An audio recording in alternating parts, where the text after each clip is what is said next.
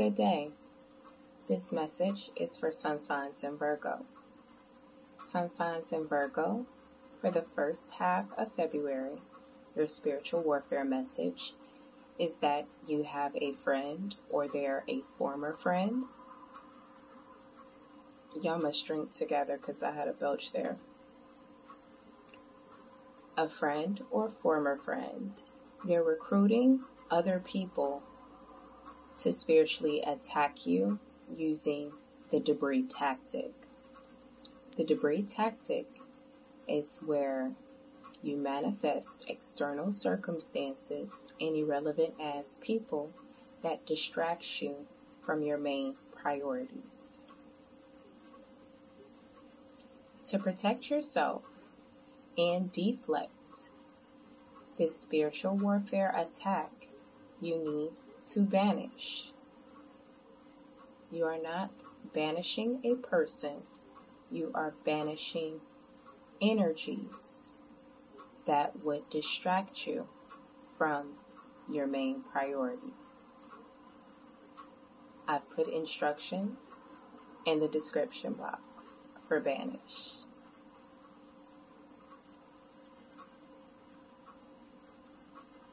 Your messages from the universe regarding your recent past, present, and near future was that you've been carrying baggage from your past. There's been tiring and difficult transitions due to you resisting to change.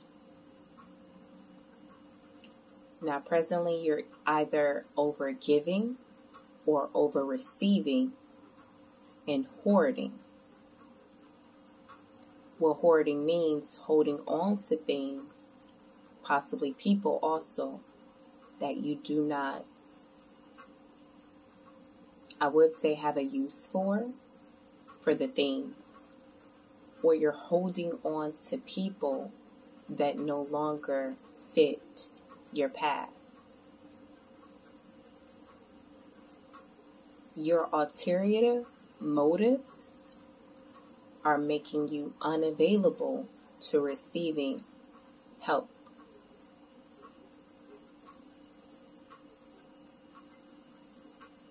Your ulterior motives are making you unavailable to receive God's help.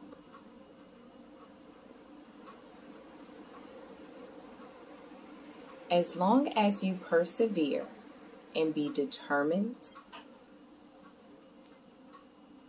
you'll you'll be the Meraki, you'll make that energy that pushes you to who and what you're trying to be when you're doing your tasks, do them with love and not selfishness. Your karma message is that you are on the right path. So whatever plan that you've came up with, stay on it. Keep doing what you've been doing. But while on this journey you need to do things that are for the betterment of mankind as a whole, not just for the betterment of you, but for the betterment of mankind.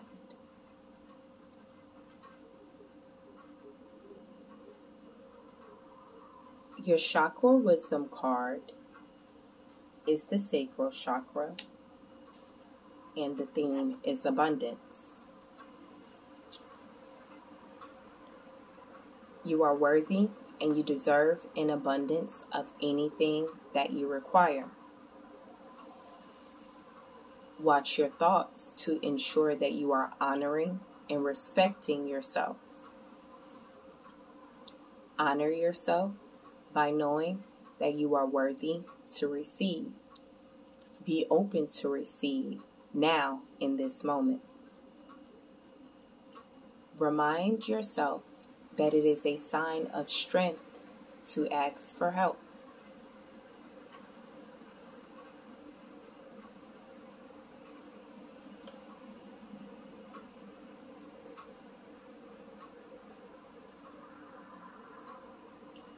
Your healing mantra is demystifying the darkness.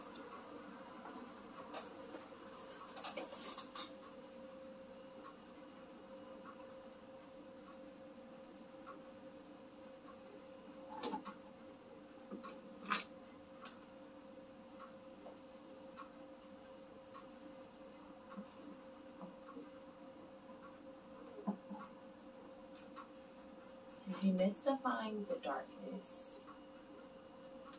A brief synopsis of that is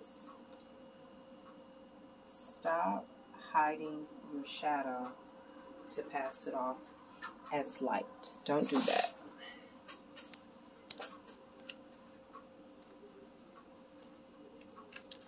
The mantra is My shadow shows me where my love needs to be sent.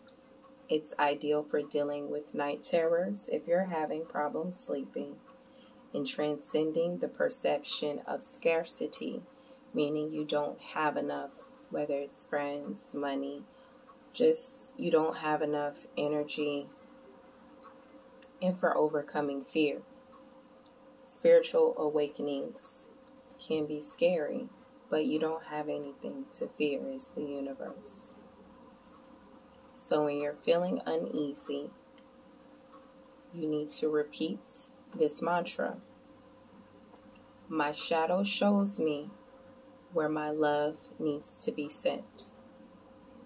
When darkness is demystified, the scariest feelings, thoughts, ideas, and beliefs are seen as cries for attention from your most hurt and broken parts. Once the darkness is illuminated, you are able to be the light that transforms the dark instead of hiding in the light to avoid moments of darkness. Just as the light can acknowledge how much pain lurks in darkness, it is the power of your unconditional love that brings your shadow out of hiding. So you don't want to hide your shadow. You want to figure. Sorry, one of my babies wanted to give me a hug. At anywho, your shadow is there to let you know where you need to put your unconditional love, okay?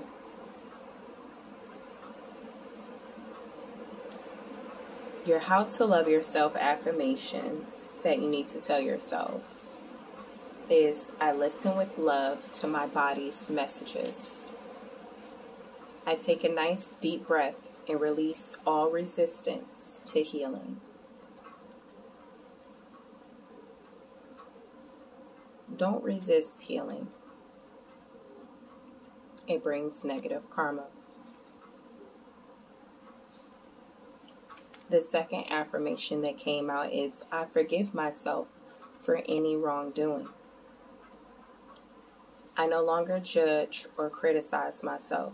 I am free to love who I am.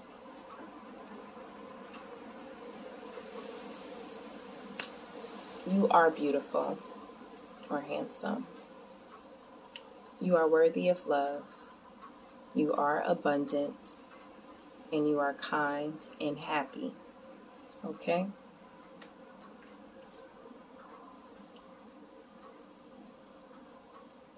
Your self care for the soul, daily rituals to do for the next week and a half to raise your vibration. For your inner child, plan a vacation. Come up with a date, location, and then manifest the resources that you need to achieve that vacation.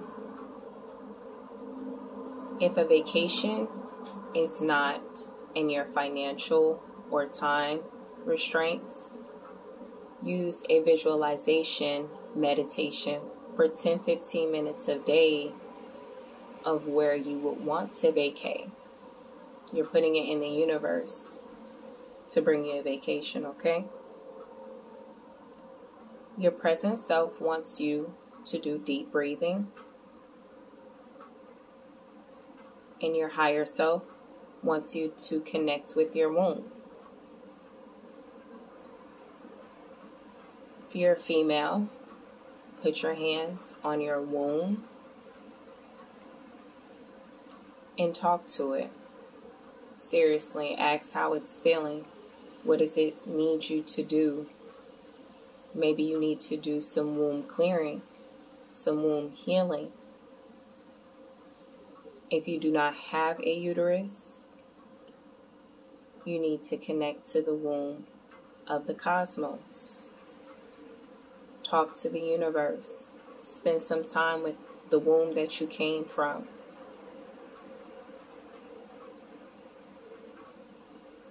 So, by planning a vacation, doing some deep breathing, and connecting with your womb, male or female, those are the self care rituals that you really need to do daily to raise your vibration. I've put resources and tools in the description box below, and I'll see you next time.